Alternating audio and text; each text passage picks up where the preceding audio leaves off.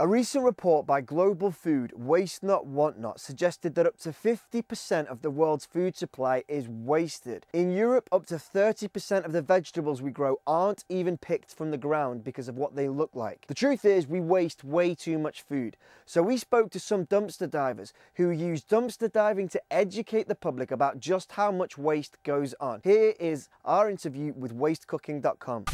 Ja? Ich würde sagen, wir fangen mit den Biotonnen an.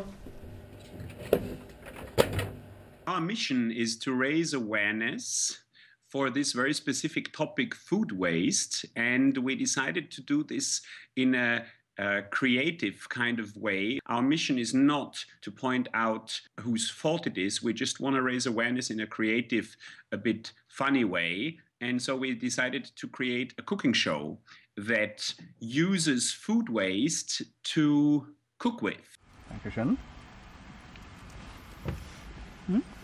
Ist super banal. Usually, we're doing that in public spaces and we're feeding um, whatever we cook to people that pass by or come join us. We are filming uh, what we're doing and we're putting it online. All the food we cook with, we find in trash cans of supermarkets. The night before the event, we're going out, we're finding supermarkets, we're looking through their trash, we're taking out whatever we uh, can find and, and decide that that is usable.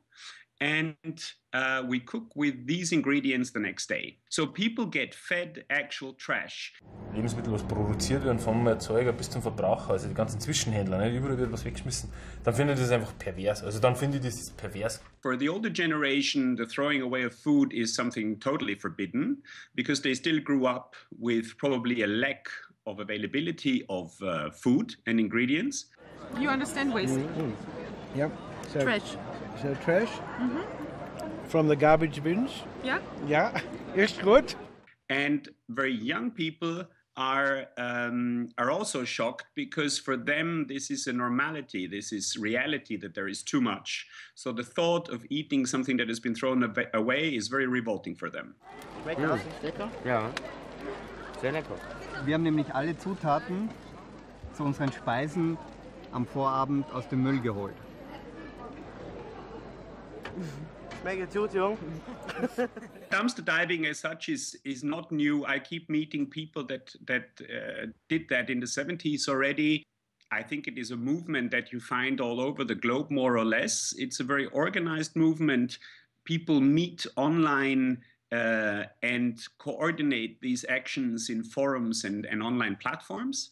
So, as such, it is a movement that is growing. Um, of course, the state is reacting. Um, in, in some parts of Europe, it's less legal in other parts it's more legal for many people it's a way of life the way of life though is to shop as little as possible and to dumpster dive as much as possible Käsefondue! Käsefondue! certain things you will find quite often such as bread and, and fruits and cheese and vegetables.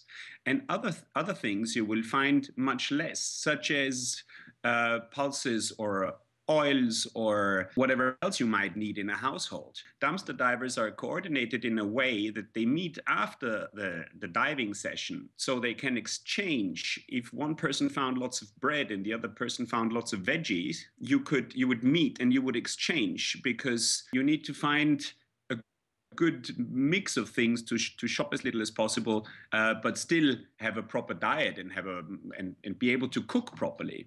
Do you check the legality of this in your country before you go running to a bin to get food from it? Because the legality of this is different from country to country. Perhaps if you're frustrated by that, let us know if you think the laws should be changed.